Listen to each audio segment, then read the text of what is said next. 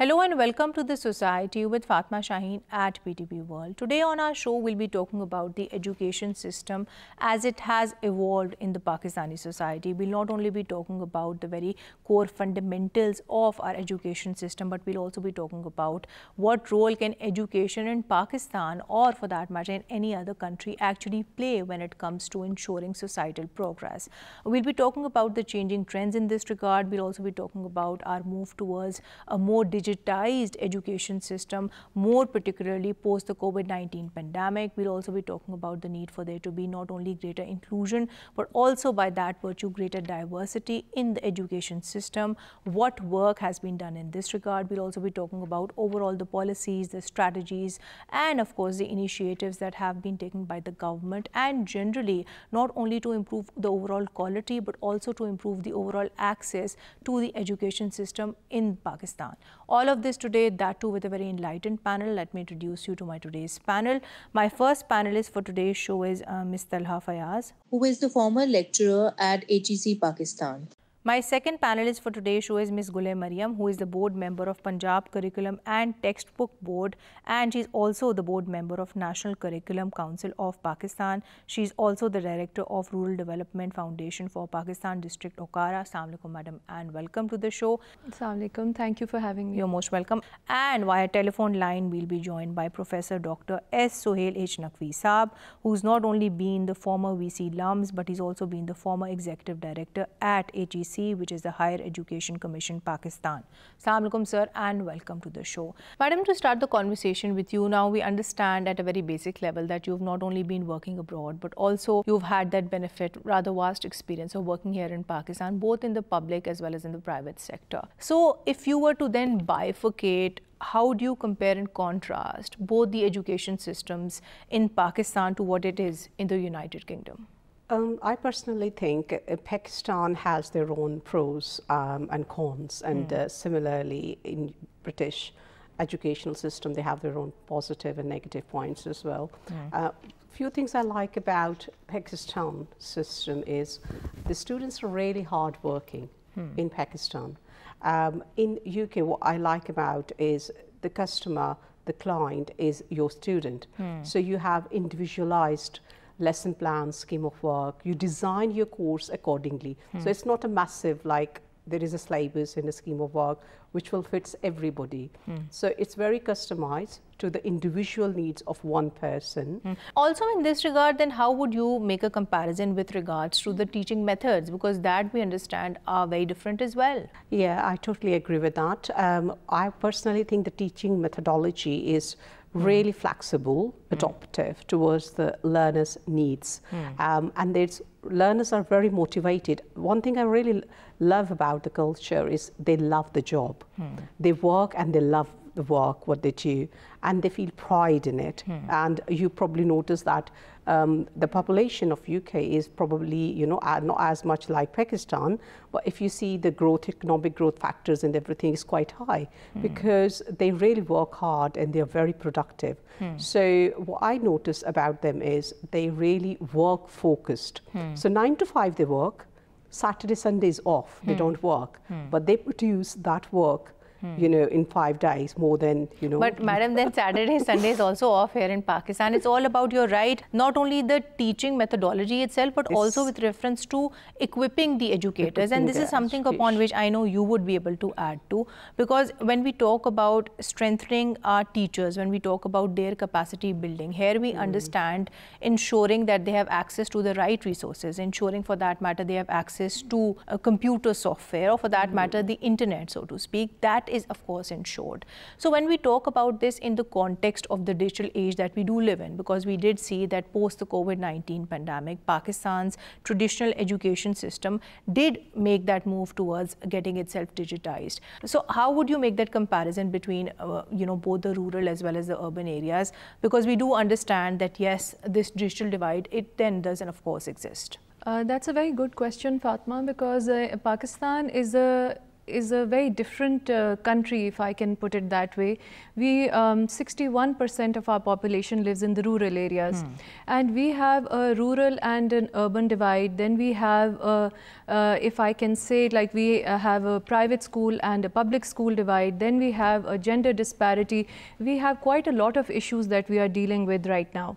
When the pandemic struck and uh, the whole globally everyone was uh, affected by it, Pakistani education system, I, if I'm talking about the rural areas and I have an experience working in there, our system was totally shut down. Hmm. Everyone was in shock, and but we were in a bigger shock hmm. because we weren't prepared. Hmm. Uh, you know, uh, in schools in cities, maybe they had an infrastructure, they had computers, they immediately switched to online schooling. Hmm. But uh, schools in rural areas, in government schools, they didn't have a robust infrastructure. They didn't have computers. Over there, we have electricity shortages. Uh, but in this regard, do you not feel then what is equally important is also to consider doing away with those typical socio-cultural norms when it comes to ensuring access to education, more particularly in the rural areas? Absolutely. There are social, uh, socio-cultural norms. We live in a patriarchal society mm. and more so in the rural areas, it's very prevalent uh, that the girl child is uh, not encouraged as much. If given an opportunity, mm. if it's in a household and you have a male child and a girl mm. child and the opportunities are less, hmm. of course there will be a preference given to, to the male child to go to school. The girl may be uh, very bright, uh, but uh, more opportunity will be given to the girl. So the socio-cultural um, issues are there. We need to encourage and give awareness to uh, the, the parents first. Mm. And it's a, it is a very vicious cycle. Mm. poverty leads to illiteracy, illiteracy leads to unemployment, unemployment leads to economic instability and the social vices that come in the society. But here another thing that we must give due consideration to is the fact that yes, equally we should consider this entire debate in the context of, of course, our prevailing socio-cultural norms. On which I'll come to you, Sohail Saab, and then in this context, we must also, of course, talk about the various problems which then do exist, especially with regards to higher education in Pakistan, be it for that matter in the private universities or for that matter in the public university. Uh, so what do you propose should be that ideal method of overcoming the same? Is it strategy that we need to focus upon or for that matter even policy making in this regard? There are three pivotal challenges faced by the higher education system in Pakistan. The first one is governance and management. The second one is that of strategy. And the third one is that of finance. Let me take these up one at a time. In terms of governance, we are talking about the body that will set the policy, the long term direction, approve budgets, make key appointments in the institution and look at the overall health of the institution in terms of what it wants to achieve and where it is. The management layer is where the execution of these ideas occur. That is where the rubber hits the road. In private institutions, the problem occurs when we have this idea of an owner uh, institution and they are also the chief executives, then who are they responsible to? Who will question uh, these people and uh, who will challenge them in terms of ideas uh, that they may have? When we are talking about public sector institutions, again, if we have the vice chancellor chairing the syndicate uh, meeting in which external members are also sitting, then what we have effectively done is mixed up governance and management.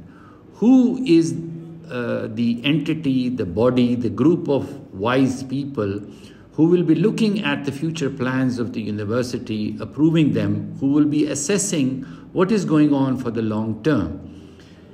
The second uh, challenge is that of strategy, defining what the institution is going to be doing and how is it going to be uh, doing it. Every institution is not going to do the same thing. The third challenge is that of finance. In terms of public sector, the problem is acute as the government has cut back severely on the amount of funds that are available for higher education institutions to uh, operate. In terms of private sector institutions, the challenge is less acute But as the economy is not doing well, there is a severe problem there.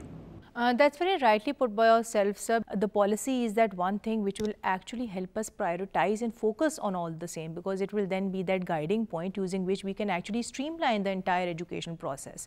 Uh, but moving on, another question that I would want to put to you in this regard is also the fact that overall we have seen Pakistan's education system transform and change that too for the better, more so, you know, moving towards the digitization of the same too. So in this regard, how do you see this transformation actually happening? To what extent you feel have we successfully been able to digitize Pakistan's education system or for that matter even incorporate artificial intelligence? Because we understand that yes that is the new thing. And in this regard how important then it is also to consider so as to keep that link between not only the education system but also the respective industry alive. Because we need to ensure that yes people get the right qualification but the qualification that they are getting is definitely very relevant to the job that they are seeking. The demands of the digital economy are that they require the educational institutions uh, to be uh, in sync uh, with the requirements of the digital economy. These requirements are changing rapidly. Today we have demands for prompt engineering, for example, which is how to use the AI tools that are available, what kind of question would you ask them that they would respond with the information that uh, you seek? We have data visualization. You have enormous amount of data. How do you make sense out of that? How do you get information out of that? And the list goes uh, on and on. So how is a public sector university uh, going to keep pace with these changings? And then should it be keeping pace with these changings uh, all the times? Educational institutions necessarily take a long term view. They understand that technologies are going to be evolving and they are going to give the tools to the students to be productive in the long term. But they also need uh, to be attuned to the needs of industry. And for that, one excellent mechanism is that of industrial advisory boards, that you are taking your uh, curriculum and uh, having it reviewed by industry experts in the relevant division. We can also have uh, industry experts as part of the faculty. There is uh, uh the entire uh, concept of having industry uh, experts through the mechanism of professors of practice who become a part of the faculty and vice versa. So there is faculty that spends a sabbatical at uh, an industry. And so the linkage with industry is crucial um, for success of an academic institution in the digital age. Right, sir, your point is noted, on which I'll come to you, Ms. Mariam. So how would you respond to that, given, of course, the fact that you yourself have had such vast experience of working both in the public as well as the private sector? It's uh, enlightening to know what Dr. Saab just uh, said and, and what all the digital transformation and the plans that we have for Pakistani education system.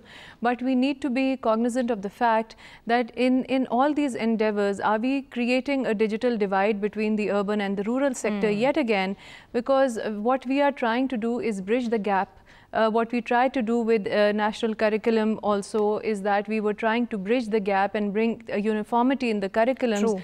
Now in the rural areas we have teachers who are the pioneers of change. Hmm. Those pioneers of change themselves are not skilled enough, they are not equipped, sometimes hmm. they are not ready, they are in their comfort zone, they are not hmm. ready to accept that digital change. Right. They are living in the same traditional methodologies, they, hmm. they appreciate that because they've been studied that they studied that way we have to first uh, invest into the infrastructure. We right. have to make sure we have electricity, internet connectivity, uh, and all the the things that go with it. And mm. then we have to train our teachers. There should be enough capacity building, professional development of mm. our teachers, so that they can uh, they can actually train our kids for the future. The digital right. resources also are not uh, uh they, they, are expensive. You mm. can uh, we have whiteboards. We we do have technological advancement now. We have, but you need multimedia. We need smartphones. We mm. need hmm. tablets. We need hmm. computers. Not public. Every public school has those. Right. And then to um, to think uh, if we talk about the, the social sciences and we talk about the Maslow's hierarchy of needs, first the physiological needs of the teachers have to be met before we tell them that you have to go to the final stage uh, of uh, self-actualization or to motivate them, we have to give them financial benefits. Right. We have to pay them right. Uh, that's very rightly put by yourself because in this regard then also Ms. Mariam we will need to ensure at a very basic level that whereas of course we are aiming to overall digitize the entire system then we also need to ensure that yes we have the appropriate resources to do the same too. Madam I'll come to you and I would want to draw upon your international experience in this regard too. When we talk about education we understand a very important part of the management is also the administration of any respective education institution and you've also had that benefit of being an administrator yourself. So what focus can Pakistan place learning from countries in the West, be it UK, be it USA, so as to overall improve its quality of education by strengthening the school or the college administration? First thing is a SWOT analysis. Hmm. So they have to analyze the opportunities, the strengths, the weaknesses, and the threats, hmm. because everyone uh, countries um, their environment is totally different. The UK has some positive points; they could have some positive points. Hmm. Then I would also say that they have to also standardize hmm. uh, the quality of teaching. Um, and I would also agree, like uh, the Dr. Saab said, already governance, policy making, hmm. and more than policy making, implementation. True. Hmm. So we do make policies, hmm. we do have strategic management, hmm. administration, there is a staff handbook, there is continuous professional development, you know, continuously going on to upgrade the system. But sometimes we don't implement it. True. And there need to be checks and balances that yes, these are the policies in place, we are implementing them, and then there are regular reviews of the reviews, same too, basically. Yeah, there should be individual uh, like in UK, we do have individual learner planner hmm. where we review the progress of a learner hmm. and we have over guided learning hours and targets hmm. and we try to match with it and hmm. we try to see if there's a gray area, how can we improve it hmm. and then every learner is unique Right. And we have to find out the gray areas hmm. and we try to enhance the skills where we can enhance. Hmm. Like some learners could be really good in theory, hmm. some learners are really good in practical skills, hmm. some learners are really good in data resolving, problem solving. So you need to pick up as a teacher. You need to pick and choose. Yeah. But here again, then, madam, we also need to at the same end ensure that yes, whatever learning process the children go through, it is not only customized, but it at the end of the day also gives them that holistic that kind holistic of a learning approach. experience. Yes. On which I'll come to you again, Ms. Mariam. And here I would want you to comment on the need for us to ensure that yes, whereas of course we are generally aiming to improve the content, the curriculum of the education system, what is equally important is also to ensure that yes, people not only have the right access to it, but it is in its own right, not only diverse and inclusive per se too. Now, over a period of time, we have seen that not one, rather quite a few changes have actually been inculcated in the Pakistani curriculum. Could you please enlighten us about the importance of the same and overall improve the quality of education that is being provided? Uh, Fatma, I think we've come a long way. Hmm. Uh, the education policy has been revised and it has been improved for the better. And there's so many competent people who are devising and improvising it every day as we speak. Uh, it is the first time that uh, we are actually recognizing and we are accepting that they are uh, you know, we, we, are accepting minorities and their different religions. We, there are seven religions that we, we are having separate hmm. textbooks mm. being printed for them. It's mm. in hmm. process. And uh, uh, for inclusiveness and diversity, mm. there is no um, hate word or intolerance for any religion or anything True. in our books. And then uh, uh, we have the a bill has been passed for dyslexia. Hmm. So we are coming to terms and we are actually recognizing and diag the diagnosis is the first step towards a solution. Right. So we are coming to terms with the fact that there are children with dyslexia, slow mm. learners, and a bill has been passed and we are inculcating it in the curriculum also. Mm. Uh, for the visually impaired, uh, the curriculum is being uh, uh translated into Braille. Mm. This is the first time it's it's happening in Which is exemplary in itself. We've also had in the past transgender schools too. Yes, the first transgender school was set up in, in 2021 in hmm. Multan. So you see these are baby steps but we are getting there. Right. It's an improvement in, in our curriculum. And what you were just mentioning that we are we are looking at many different uh, countries and whatever works for us and with our culture, with our uh, you know socio uh, political values and everything, keeping that intact, we are adopting good things from from the west also and we are incorporating it in in our own curriculum and then we are giving it the provinces can have their own uh, a provincial autonomy is there so they can have their own like stories or their own things added uh, into their curriculum Right. Uh, that's very rightly put by yourself because when we do talk about this particular article, Article 25 of the Pakistani Constitution, we also understand the provinces have legislated upon the same too so as to enforce it in its letter and spirit. On which I'll come to you, Sohail Saab, and here we must talk about uh, the need for us to ensure a rigorous uh, quality assurance that too within the education system itself. So as a senior educator and of course as the former executive director of HEC, how do you propose can that be done both internally within the education institution itself and externally? What kind of checks and balances do we need in place so as to ensure that quality assurance is actually there in spirit? The issue of quality is paramount to the work of an educational uh, institution. Without quality, of course, you have basically uh, nothing. The question becomes as to who owns quality and how is that uh, quality uh, implemented. As far as educational standards are uh, concerned, both in terms of content and processes, and uh, uh, we can add delivery uh, to that, these are es- essentially benchmarked uh, internationally. You are taking standards uh, that the world has accepted and you are applying them to your particular context in the country.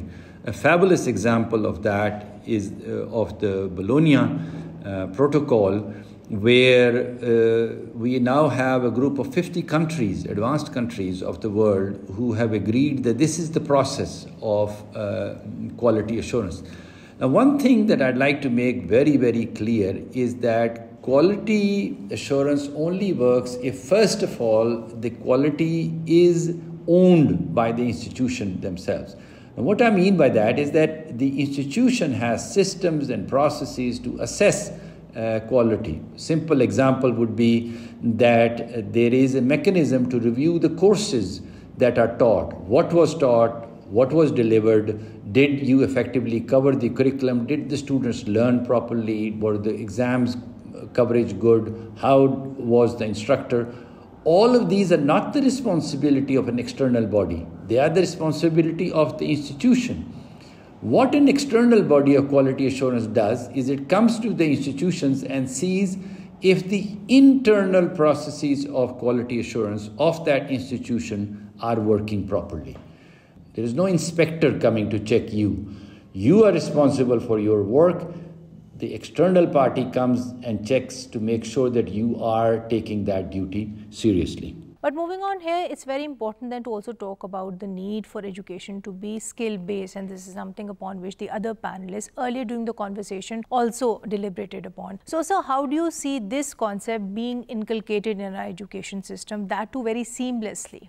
The issue of skills often comes up in discussions of uh, educational institutions, and the question occurs that how much emphasis are you going to put into theory and how much emphasis are you going to put into uh, practice? Now, we all know that you learn by doing. So, practice is clearly something that is extremely uh, important. But we are also in a uh, education or uh, uh, institution not uh, looking at uh, producing people who can just simply do something and not understand uh, the mathematical or theoretical basis of what is going on.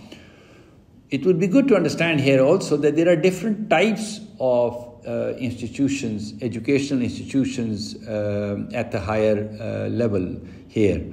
In Europe, for example, you have universities of applied sciences. They are focused much more on the application of knowledge. And then you have research universities that are looking at fundamental knowledge. Both are important. The company uh, that I have formed and now working at is actually trying to bridge the gap between university and uh, industry and providing a boot camp at it. However, in, in summary, I would say that all education institutions need to focus on both aspects and depending upon their domain of specialization, where they are located, what their aspirations are, the mix of theory and practice can change. You cannot have a one size fit all solution. That's right, sir. And we also understand the fact that there are institutions like TEVTA, there are institutions like the PSDF, which stands for the Punjab Skill Development Fund, which are actually working so as to ensure that, yes, not only students but professionals per se, they have the requisite skills too, so as to not only gain a more competitive advantage, but also to ensure that whatever education that they do seek, that is more relevant in today's day and age. On which I'll come to you because I feel that definitely there is a connectivity with your work here too in this regard. I do understand that you're running this organization, purpose of which is to ensure that girls particularly a step further so as to ensure that they are trained to, they are given the requisite skills so as to be able to seek a job as well.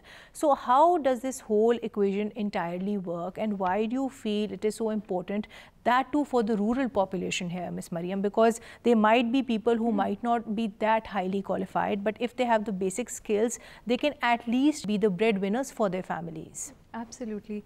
Uh, you see, Fatma, the, the small work that I am doing in my in my village, which is in district Okara, my village is Vasavewala. So I have a, an elementary school for girls, and side by side, I have a computer class for for young girls and women. And this computer class was set up uh, post COVID, like mm. we we made uh, an, an IT center and it's equipped with multimedia and computers and everything and after I made it I, I didn't know what to do with it mm. so we actually this is accredited with the PVTC which is mm. Punjab Vocational and Training Council so six monthly courses are given to these young females mm. whose ages are 17 to 25 they could be of any age hmm. and they come and they get equipped with these computer courses after after that we give them job placement hmm. so they um, are this is a technical support support that we give them that mm. whoever comes after uh, they can be doing the after their inter or matric and mm. so the the point being that uh, an educated girl is going to make our future better and we make the role model my principal there is a female mm. and she is a master's and mm. she um, you know in in urban areas we have many examples in right. rural areas we have to create our examples i had right. to show uh, the girls in my school that what we are doing how it can take you further mm. so my principal can bring her children she she's hmm. married she's a homemaker and there's a daycare for her in the school. Mm. She can bring her children and, and the students who are studying there, mm. they feel that, okay, when, when we do study in higher education, we go step further, we can marry off, mm. we can be homemakers. Or even if you don't get that higher education at a very basic level, if you have those foundational skills. Yes, make sure that the learning spaces are safe, hmm. may, be it face to face or be it online to hmm. give our girl child a safe place to learn and to break stereotypes. That they are accessible to, on which madam I'll come to you. Mm -hmm. I think Ms. Mariam has raised some very important points and I would want to quote the stats of this report which very clearly states that the gender gap in education in Pakistan, more particularly in the rural girls, is 45% lower than that in the urban girls. And the same report also states that for boys, uh, the difference is 10% only. So we do understand that the gender disparity, the gender gap that does exist in the education sector, it is a very real problem. What measures do you feel need to be taken holistically, other than the work of the government is doing, other than the work which perhaps people in the private capacities or for that matter the civil society is doing? What is it that we need to focus upon so as to address this issue? I personally think uh, there should be no gender discrimination anywhere mm. in any part of the mm. world. Especially mm. in Pakistan, um, uh, we have a bit type of a culture where there is there is always a bit priority -hmm. of the male child as comparative to the female child. -hmm. So I personally think there should be reserved seats in universities, especially for um, um, female childs or females. Um, and the same way, you know, like when she was mentioning the, the lady was really right, saying that nowadays the women the biggest barrier for women is that they got married they got kids how mm. they can work hmm. after that mm. so now they can work from home they mm. can work on a social media they can work online they can do digital marketing they can do uh, work for amazon there are so many platforms hmm. if they have computer skills or they have technical skills like in technical skills they can be a beauty therapist they can hmm. be an aesthetician they can work from home so I personally think we should encourage, like Tabata is doing it. They can be entrepreneurs to yeah, start. Yeah, we can mm. do like a woman bank. We can give mm. loans to them to start small businesses. Mm. We can hmm. motivate them. We can reserve their seats. We can do government funding. We hmm. can uh, ask government to specify certain funds just for the girls. So there are a lot of things can be done. When we do talk about, of course, addressing this gender gap or for that matter, this uh, gender disparity, which does unfortunately exist with regards to our education system, this must then at the end of the day be a collective effort. Yeah. On which I'll come to you, Ms. Mariam, and here we must talk about the link between being educated, more so between being highly educated and being tolerant as well. Because uh, we do see this is something which has come forward again and again that just because you're highly educated doesn't mean that you're highly tolerant as well because we do understand the fact that somebody who is highly educated might perhaps get that competitive advantage to walk out of so many situations which perhaps somebody who is not as educated would. I think this can be curbed with education only. This hmm. can be when we teach all children the same thing the only education, education and education can do that. We tell our children uh, in our books and we teach them at home. I think mm. we put too much stress on, on books only and on teachers only. This is mm. something that has to be taught at home. Being tolerant, being uh, non-discriminatory towards race, creed, religion. Mm. This comes, a huge responsibility comes on the parents also. True. That uh, what they give, what environment they give to their child, if they are privileged enough, I think they should, they have a higher responsibility mm. to teach their children how to treat people who are less privileged mm. or who deserve more to be treatedly with respect if they, if they have something less and how to be more giving. Mm. So more so it is the responsibility of, of the people who have the opportunity to be educated and who do have, uh, you know, the means to be more tolerant, to be doing more and showing their children in, in that respect that you have to be more giving. That's mm. how society works. It's not the, um, I think here uh, there, there's a, something that the educators can do, something that the government can do, but mostly it is uh, the parents' duty also to, to inculcate in their children mm. and in their minds. And this is how we bring about change in the new important. generation. You're very right because this very issue we also understand the fact that those people who perhaps might not be that highly qualified, yes. they are automatically put at a disadvantage. Yes. Because in terms of job, in terms of their marketability, in terms yes. of so many other things, people who are highly educated, they automatically get that advantage yes. that way too. Yes. Uh, on which I'll come to you, Suhail Sab, and here we must also talk about the need for us to actually strive so as to inculcate, you know, extracurricular activities, whatever they so may be, so as to make education a more holistic learning experience in this way. Because education, as we all understand, shouldn't just be something which prepares you for school, for college, for university. It should ideally aim to uh, prepare you for the real world too. Universities are places where uh, the students leave their homes and become young, independent, uh, productive human beings here. They then venture out of universities into the practical world and become productive members of the society. This transition from home uh, to the practical life that occurs through the university is a very important part of uh, human development for these uh, people. And it is important that besides uh, the academic work, the students are provided an opportunity for growth and personal development. What kind of growth, what opportunities, that will depend upon the institution and also the likes and dislike of that particular student. But we should have opportunities for sports, for example. We should have opportunities uh, uh, for uh, the students to take a variety of different types of uh, courses. If you are a math major, you should be studying philosophy it is important. You should be studying literature also. You should have an opportunity uh, uh, to grow as a human being. So that means that the curriculum needs to be proper and diverse. You should also have opportunities uh, for doing debates, acting in dramas, running a music uh, club, and explore all different kinds of uh, interests uh, that, that you may have in an environment that is supported by the university that recognizes each person as an unique, diverse human being.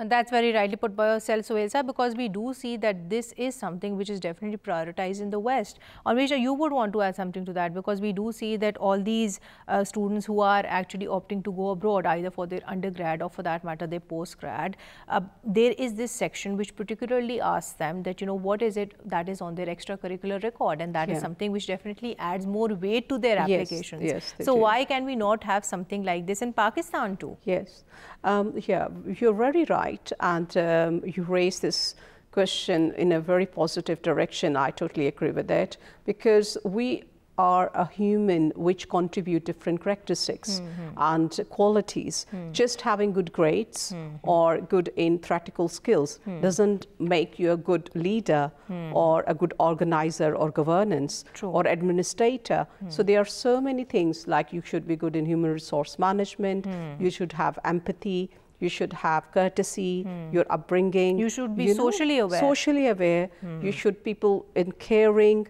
So there's so many things like uh, extra. Right, madam. But moving on, my last question to you would then be that if we do aspire to, of course, improve the Pakistani education system and then in turn also bring it at par with various other education systems, especially those which are considered to be the best in the world, more particularly Finland, I would want to refer to in this regard. How do you propose can that be done? Do we need to revamp our educational policies? Do we need to redesign the curriculum content? Or do you feel it is the teaching methodologies that we need to focus focus upon? I think it's a collective approach. And uh, the basic thing I would say is standardization. Hmm. Because what I felt is even, you know, a person who's a doctorate of medicine or a doctor, hmm. they go to UK, they have to do PLAB again. Hmm. Well, that's not fair. Hmm. As comparatively, if we um, look at neighboring countries, they have recognized their universities. So their doctors, um, they hmm. go there and they start working there. So standardization, hmm. validity, credibility, authenticity hmm. of your education system is really important. And obviously, if there's any, um, if you need to redesign the infrastructure, the syllabus, the curriculum that needs to be done, then we should take um, the positive steps towards it. So we should keep our values, mm. but we should also adopt what's the good points mm. um, from them as well and it's more acceptable there. That what I felt, you know, we're a tiny bit behind, mm. that sometimes our degrees are not as accepted mm. in um, abroad countries. So definitely that is something that we need to work upon and in this regard it's also very important then to highlight that overall the literacy rate in the country has gone up more so from 45% to 63% particularly in the last one decade mm. and this is something upon which you could also yeah. shed light as well because we do understand that yes the Pakistan Pakistan's education system has evolved and definitely it evolved is. for the better. But mm. what more can be done? Because again, you have that experience of working with mm. the government and privately too. What more reform would you suggest in this regard so as to then again bring it at par with, you know, various other education systems all over the world?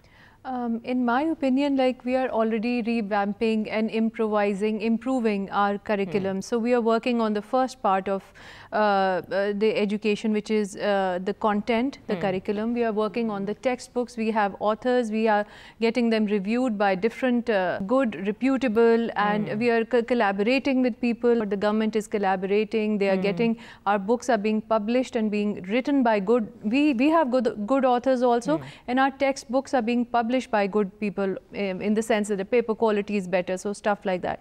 So the content textbooks. Now the main thing is the teacher. Hmm. So I cannot stress enough about the capacity building of teachers. That's the, the, the best thing that we can do is the professional development hmm. for our teachers, the capacity building. For that True. we can collaborate with international organizations hmm. and we can have teachers training. And the, I think uh, the best motivator is uh, if we give our teachers they're good in monetary incentives, hmm. their pay scales should be uh, increased Raised. as in every industry you pay a person to their um, to their skill set. Our teachers are underpaid, hmm. so that's why sometimes they're demotivated. Hmm. So skills of the teachers is uh, what our education system is really depending on hmm. and our future generations are depending on that also. Right. I think that's one uh, phase that we need to work on hmm. and of course the infrastructure again if you're going into the digital uh, phase and the digital transformation then there's a lot of budget that needs to be allocated for the education sector. And then here again the role of social media also becomes hmm. very important. Absolutely. Which as we all understand is a double-edged sword as we speak yes. because it has had that benefit of educating people but then also of course it is um, adding to people say disrupting the social morality of the society too so it is something which comes with its baggage as well yes uh, sir i'll come to you and before we conclude today's show here it's very important then to also talk about not only overall aiming to improve higher education as it does exist in pakistan because we do understand that yes higher education is something which is extremely pivotal for national development but in this regard too what focus must equally be placed on research-based work, which apparently, at least to some extent, appears to be missing in our education system. At a national level, it is extremely important uh, that the leadership of the country has a vision for higher education uh, in uh, Pakistan. Higher education uh, is the solution to Pakistan's economic woes, political woes, and all other issues that the country uh, faces. Because you are taking advantage of the single most important asset of the country, which is the young, fertile, trained human mind that we have. And uh, once the leadership understands that, then you are looking at your natural resources and you are saying what is the best way to provide uh, value addition and to have the maximum economic benefit. And that means you will then be focusing on the human faculties that will have the mass, maximal economic transformative uh, impact uh, on the country. We cannot do everything, but uh, we should be looking at the areas where we can excel. Let's, in every work that we will do, we must be competing internationally. There cannot be a concept of developing in Pakistan higher education that will not meet and exceed global standards. It has to be open and just as we take advantage of all the knowledge that is out there, they should be able to take the advantage of the knowledge that we have the advantage Pakistan has is the young people, uh, abundance of this talent. Let us make that as our priority number one. Uh, right, sir, your point is noted. On which note, I would like to conclude today's show. Thank you so much, Ms. Talha. Thank you so much, Ms. Mariam. And thank you so much, sir, for your time today. Well, to conclude today's show, we generally spoke about the ever-evolving education and education system as it does stand in the Pakistani society. In this regard, a very welcome move that we do see is the fact that over a period of time, post-COVID-19 pandemic, we have seen Pakistan's education, you know, system overall embrace technology, which is definitely something which needs to be welcomed. But in this regard, what is equally important to consider is the fact that we need to equally consider and of course do away with the digital divide in this regard too more so that which then does exist between the rural as well as the urban population. Last but not the least, we need to ensure that of course learning, that of course education is a very holistic, you know, experience where people are not only taught to root learn stuff, but at the same time they are also taught that ability to critically question things because we understand that the true goal of any education, the true goal of any education system is just not learning, but it is also to be able to critically question things. Thank you for watching The Society. Until next time, take care and Allah Hafiz.